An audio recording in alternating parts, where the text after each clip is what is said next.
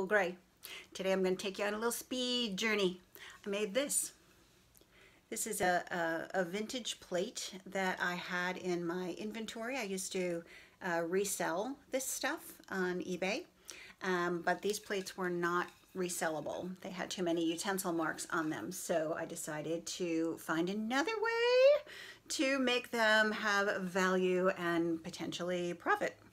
So I made this mandala and it's been uh, coated, the plate has, just with flat black latex house paint. There is another video talking a little bit about that process for those of you who are interested in trying this technique for yourself. Um, and today I'm just going to show you exactly how I painted the mandala. I speeded things up a whole bunch because, you know, this is pretty time consuming work, but I think the result is lovely. And I just finished it with a clear coat of uh, Minwax Polycrylic Clear Gloss. I'll talk about that in the other video too, but for right now, come along with me on this journey.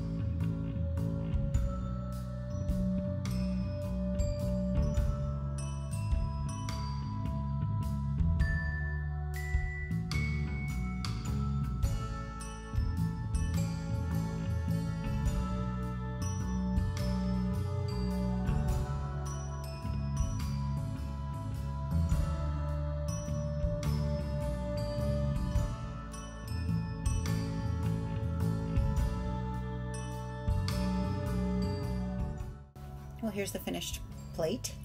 I hope you enjoyed watching this video. If you did, would you let me know by clicking like? That's a little thumbs up icon.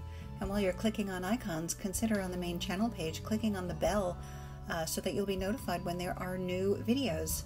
Subscribe if you haven't already. We do art videos and we do cooking videos around here, and we try to do one of those each week.